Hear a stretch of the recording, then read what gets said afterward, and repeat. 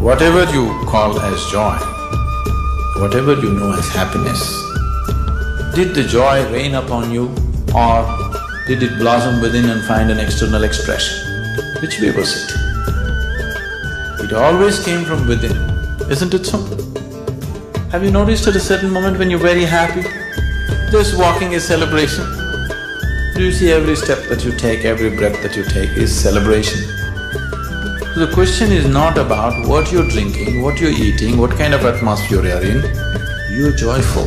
It's the inner atmosphere which decides the celebration, not the external.